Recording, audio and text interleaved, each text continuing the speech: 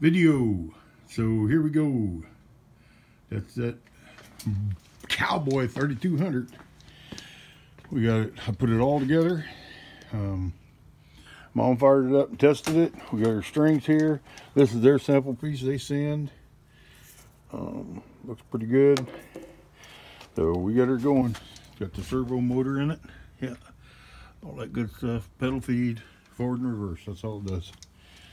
Four stitch to 16 stitch branch. Bobbin winder. Okay, so, and then we got our leather workstation going on there. I got a knife I'm putting together right here for Darren.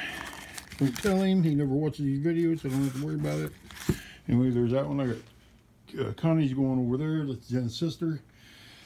And here we are, back to the grinder. So, get my little wheelie chair. And there's my ugly mug. I'll talk to you later.